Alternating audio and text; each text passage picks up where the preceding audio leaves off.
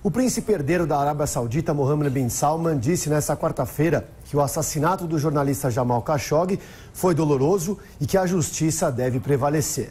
É a primeira vez que o príncipe fala sobre a morte do jornalista, crítico ao governo de seu país, que foi assassinado dentro do consulado saudita em Istambul. Durante um painel de discussão na Conferência Internacional de Negócios, que acontece em Riad, Mohammed bin Salman afirmou que todos os culpados serão punidos e que seu país, juntamente com a Turquia, vão trabalhar juntos para obter resultados.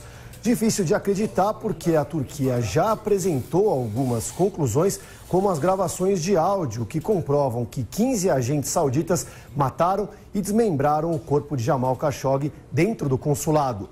Já a Arábia Saudita, só depois de duas semanas, assumiu a morte do jornalista e defende que ele foi morto depois de uma briga. Vale lembrar que políticos, empresários europeus e norte-americanos desistiram de ir a essa conferência que acontece em Riad, na Arábia Saudita, depois da morte de Jamal Khashoggi. Nesta quarta-feira, o presidente dos Estados Unidos, Donald Trump, afirmou que o príncipe saudita pode estar envolvido no assassinato. Na terça-feira, o governo americano anunciou a revogação dos vistos de agentes da Arábia Saudita e depois a primeira-ministra britânica Theresa May também suspendeu os vistos dos supostos envolvidos.